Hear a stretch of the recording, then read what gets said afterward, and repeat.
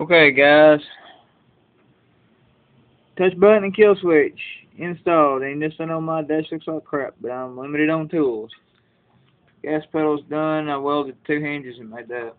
Uh, I had a video on it yesterday, and for some reason all my stuff got ate.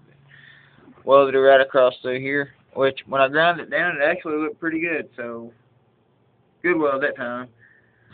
Uh, still got to figure out why when I hook my hot wire up to my magneto, even though it's grounded, it starts burning my magneto up. So I'll play that later. But um.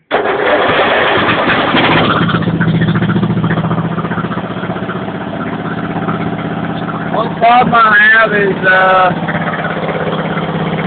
that. And uh all she wrote on that one.